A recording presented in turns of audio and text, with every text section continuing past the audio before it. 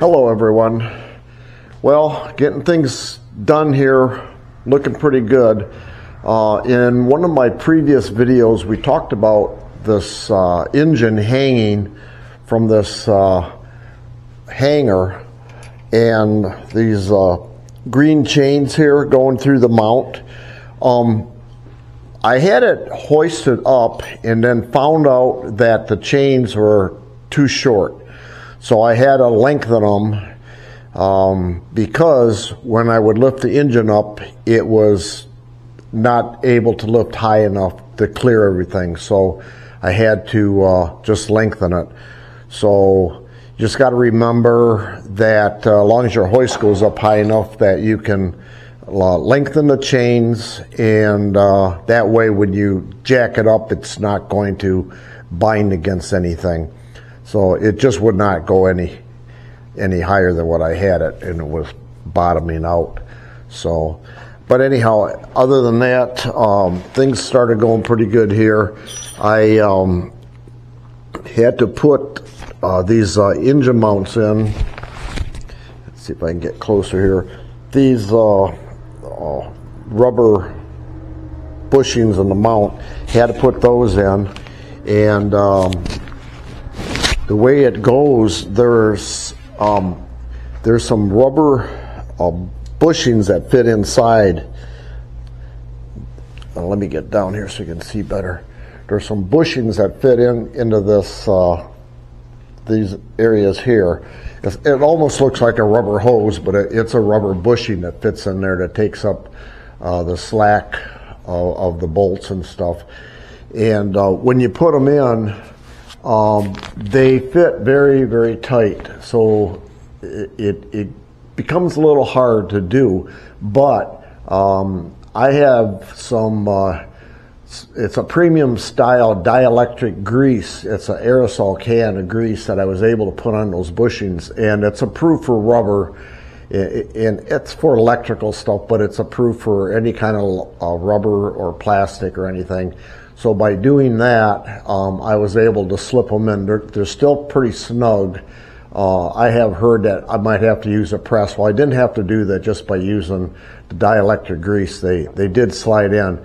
But then um, there's a stainless steel bolt here. Let me see if I can point it. This bolt here, and of course the one over on the other side, they're stainless steel and they have to slide down through there. Now, what I found out is when the stainless steel rods were produced, um, there was some burrs on the threads. So I used a, uh, I have a, a tap and die set that had the right size. So I just used the die and I started over the edge of the thread and it cleaned it right up. But then what I heard um, from one of our other members uh, of from Cicare, uh, Cicare USA, he said all you have to do is really take a, a wire brush on a grinding wheel brush and it, will clean up that thread. So I guess it's common on that, uh, be, probably because it's stainless steel. But uh, anyhow, once you you have the center bushings in here, and then uh, you slide the the bolt through, and you have to put these rubber mounts in here, you know, and you have to get this particular one in place, and then that that uh, once you start to torque it down, you have to have uh, uh, an exact dimension there for the compression, so that's tight enough. And I believe it was like 866 thousandths between the edge here and the edge up here. Um, in the manual, it shows you exactly where that has to be. So um, then I'm trying to move around here and find my notes, what I wanted to talk about. Um, yeah, be, when you go to push that bushing in, it's that center bushing that, like, like I said, it looks like a hose. Um, you kind of have to thread it in a little bit. Once it gets started, then you can push it through. But uh, if you just try to force it through, it's going to just slide the bushing back out. So you have to just be careful.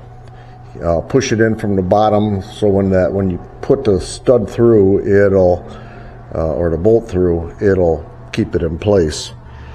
So let's see. Um, kind of looking at some notes here.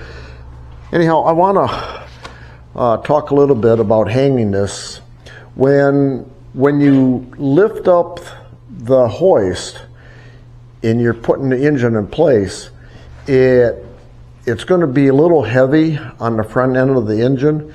So what I did is I put a, a ratchet strap uh, here and to go around the drive pulley. I don't know if you can see that.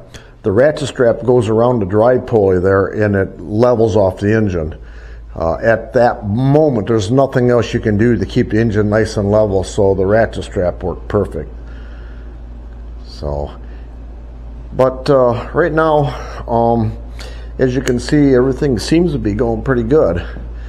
Nothing is really difficult. You just gotta um, take your time and make sure everything is done right. Of course, follow the manual. The manual has everything step by step what you need to do. And let me get around this side. There again, getting back to these chains because that was the only problem I had is, is this chain, this one that's painted green here, um, that chain was a, just wasn't quite long enough. So anyhow, um, I think that's about all I need to talk about today. double check here. Um, let's see. I'm just looking at my notes because I want to make sure I didn't forget something at this moment. And I think I, I got pretty much everything. So I'm um, going to just give you a little review of what's what I all have here that's going on there. I have uh, um, everything is still packaged up yet. I, I don't want to lay everything out, but here's my uh, in this first box here is uh, the fuse box, and then there's an oil tank that's going to be I'm to be mounting that on here pretty quick. Um, this is the, the oil tank that, that goes in there. But uh, I'm keeping everything or, organized here in boxes without having it scattered all over the place because there are lots of boxes of parts yet. So, anyhow, okay. I will talk to you on the next video. Thanks.